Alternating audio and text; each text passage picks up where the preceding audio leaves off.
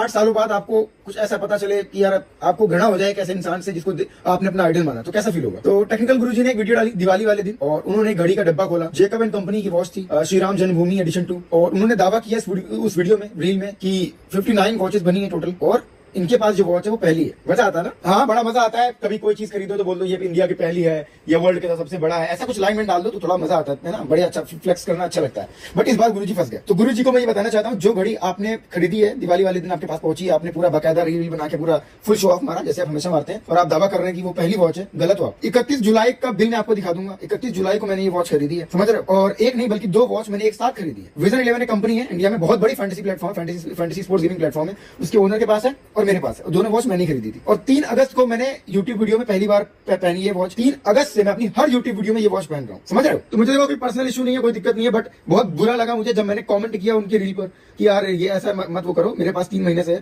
उन्होंने मेरा कमेंट तो डिलीट किया, साथ ही मुझे ब्लॉक कर मैं ऐसा लगता है कि ऐसा लगा डर गया कि मतलब कहीं खुलासा न कर दे एक्सपोज न कर दे। और वैसे एक चीज़ और बता दूँ, आपने जितनी भी चीज़ों पर फ्लेक्स मारा है आई थिंक चालीस से पचास परसेंट चीज़ें ऐसी हैं जो घर में पोछा मारने के काबिल पड़ी हुई है। समझ रहे हो? तो कुछ नहीं बहुत ही सिंपल चीज़ भाई, आप बस एक वो कुछ कैप्शन में एडिट कर दो, कुछ माफ़ी मांग लो, भाई, पहली वॉच नहीं है। इंडिया में ऑलरेडी किसी के पास, ऐसा बोल सकते हो। अगर ये ख्याल आपके मन में आ रहा है कि जो मेरे पास वॉच है वो लोकल है तो अगर अनुराग द्विवेदी के पास लोकल वॉच आ गई तो इंडिया में कोई कंपनी है ही नहीं, सब लोकल समझ रहे और प्लीज़ आप दुबई में रहकर काम कर रहे हैं, आप पाँच परसेंट वहाँ पे वैट पे कर रहे हैं, मैं इंडिया में रहकर काम कर रहा हूँ अठारह परसेंट जीएसटी प्लस मैं तीस परसेंट स्लैब में आईटीआर पे कर रहा हूँ। मैं दुबई आके एक साल रह जाऊँ ना पूरी इंडस्ट्री की, समझ रहे हो? बट वो मैं करूँगा नहीं। मैं टैक्स चोर नहीं हूँ, देश से प्यार है, देश में रहकर देश में वैल्यू अपनी